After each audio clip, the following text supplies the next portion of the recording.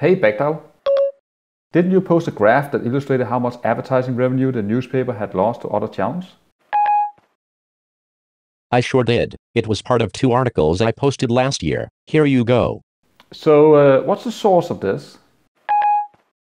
It's made from a mix of sources. The newspaper ad revenue is from the Pew's State of News Media 2015. I then compared that to the overall advertising spending in the US. I defined 2006 as the baseline and illustrated the difference between the trajectory of the overall ad spending and the revenue going to newspapers. Thank you.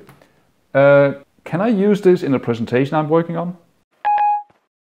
Sure, just remember to credit me so that people know where it's from. Do you want me to email you the original file? Yes, please. Done. Thank you. Anytime. Hey Siri, could you add that graph on Baekdal when it arrives? Put it on uh, slide 7. I will do that. Hey Amy, is everything set for tomorrow? Almost. Our sports editor may be delayed, but I will know more in an hour. But everything else has been scheduled and approved. Okay, great. Uh, let me know. Sure. Uh, Thomas, Yes? I added the graphic, but it's using a different color scheme. Should I change it to match? Uh, no. I think it's better if we keep the original. Okay. Oh, Siri, Yes? did we get a reply yet to the question you sent to Samsung for me?